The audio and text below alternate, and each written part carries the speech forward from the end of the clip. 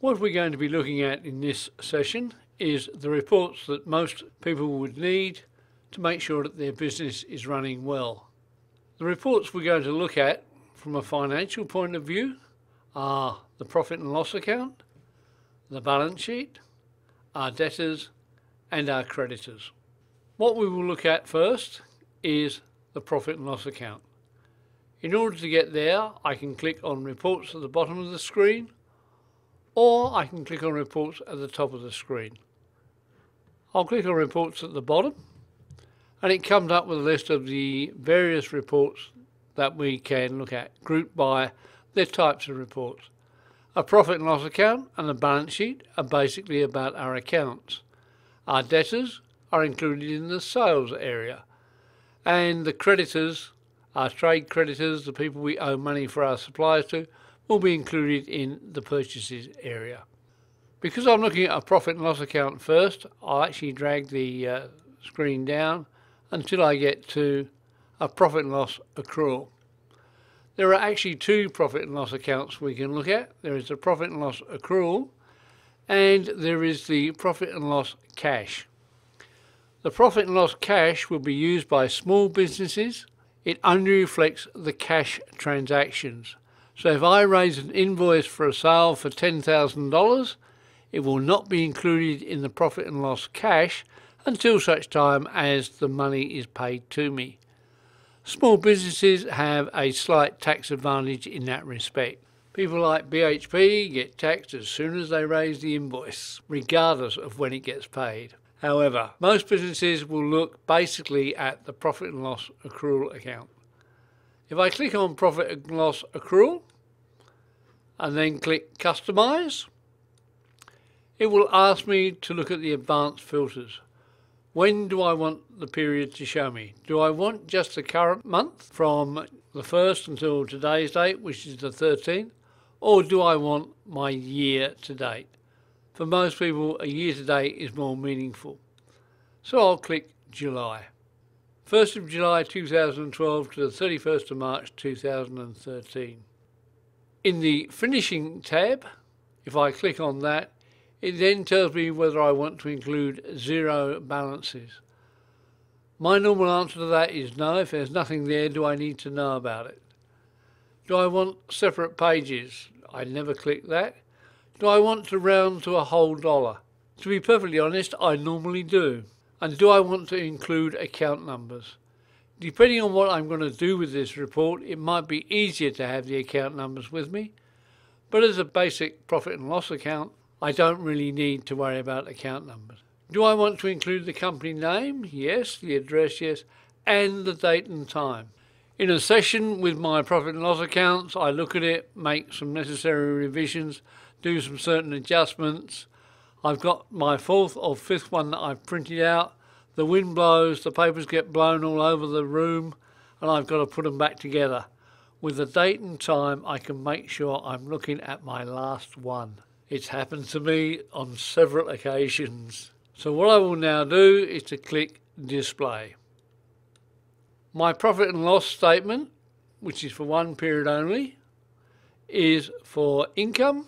It shows my net sales, my two sources of sales income, services and repairs, and sales from the store. My total sales came to 13,000. Did I do all right? We'll have a look a bit further down. And it is showing me there that I've got $1,700 in direct job costs for materials. And I've got some stock discrepancies of $636.37. Obviously, when I did a stock take and had to write it off, or when I took it off the shelf, I forgot to record it against jobs. So my material costs so far are 2,300, leaving me with a net profit of 11,421. That looks pretty healthy. I actually have a gross profit margin of 11 divided by 13, about 70 odd percent. I can live with that. If I look further down, comes my overheads, my expenses, my general and administrative expenses, my accounting fees, $500, and my telephone bill's $53.64. I spent $550. My employment, who have I had to pay? I've had to pay one assistant. His superannuation, a quick look at that tells me, yeah, that's about 9%. And total cost of 12500 Business would have been a bit slow to start with, and hopefully it's going to start picking up.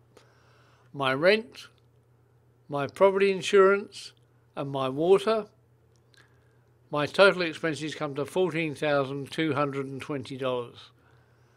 If I continue down, it says my operating profit, in other words, what I sold less what it cost me to make the goods and services I produced, less my overheads, comes to a net loss of $2,799.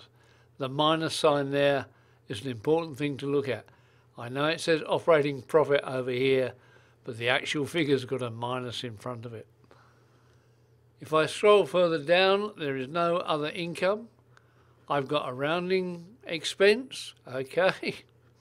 So my net loss for the period, I have a net loss figure here, $2,799.20 for the period July 2012 to March 2013. Profit and loss account is a very important thing for me to look at. If I'm not making a profit, or I'm not making a profit and I thought I should be making a profit, I need to do some investigation. Most businesses, when they start up, will have laid out a budget plan. How am I progressing in terms of that budget? Are my sales in accordance with my budget would be? Are my expenses in accordance with what my forecast expenses would be? Is my cost of sales in accordance with what I forecast my cost of sales to be?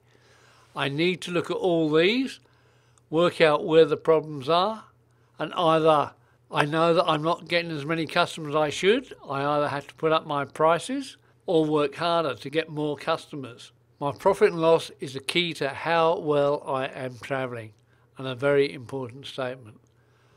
When I've finished looking at it, I can print it off if I need to keep a copy of it, or maybe I want to send it to somebody, maybe my financial advisor. If I click send to, it gives me the option of putting it into Excel where I can work on the figures, or emailing it to somebody like my accountant or faxing it. I can create a PDF so that they can't change it, etc., etc., etc. If I close, it'll take me back to the reports list and if I close there it will take me back to the main control account scheme.